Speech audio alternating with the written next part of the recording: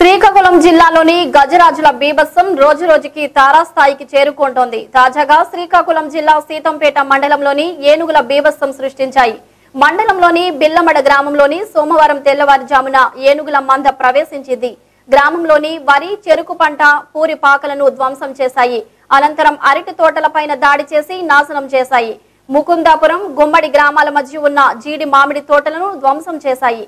వేరుశనగ పంటను తొక్కి విధ్వంసం సృష్టించాయి. అనంతరం ఏనుగుల మంద బిల్లమడ కొండల్లోనికి వెళ్ళిపోయాయి ఏనుగుల బంధును గ్రామాలలోనికి వచ్చి పూరి పాకలపై దాడికి దిగడంతో ఎప్పుడు ఏం జరుగుతుందోనని గ్రామస్తులు ఆందోళన చెందుతున్నారు.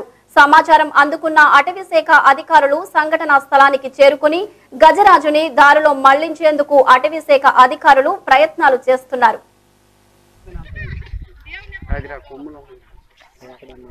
அது ஒன்றே தீபாவளி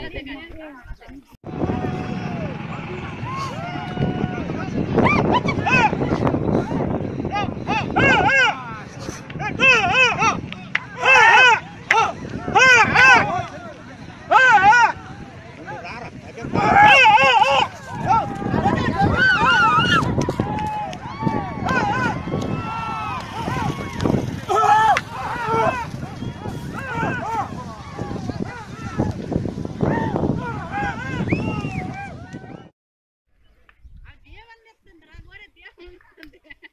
అవి ఉన్నాయి అయితే దిగుబడి అయితే. ఏమనేమట్లే ఇటింగ్ రా నీ పని చెప్తున్నా అది రా కొమ్ములు ఉన్నాయి.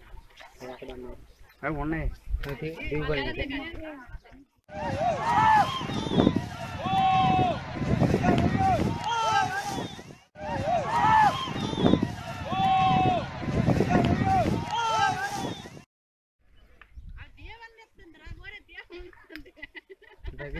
ఏమనేమట్లే ఇటింగ్ రా నీ పని చెప్తున్నా